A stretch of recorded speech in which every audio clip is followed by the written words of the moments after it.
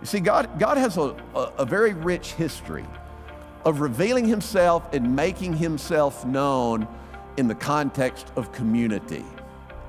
Listen, you, you beware. You beware of individuals because what, what Jesus is making very clear here, and the reason John is emphasizing this, you, you can't miss it. Jesus is very anti individualistic. Jesus is anti privatized faith. Jesus is, is anti mystical religion that thinks that God has given to you some unique insight, some spiritual insight uh, that He has not yet given to the rest of us. No, God reveals Himself in the context of community. You beware of those individuals that claim God has told them something unique that He has not yet revealed to the rest of us as the community, as the body of Christ.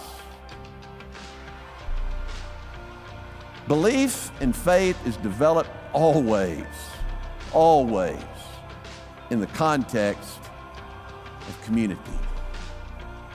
That's how faith is, is nurtured. That's how our faith grows.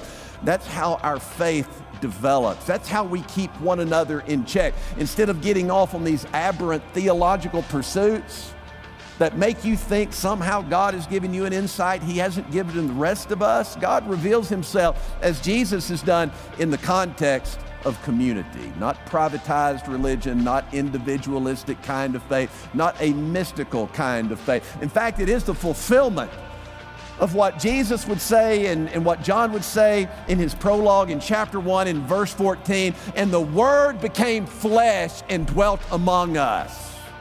Us community.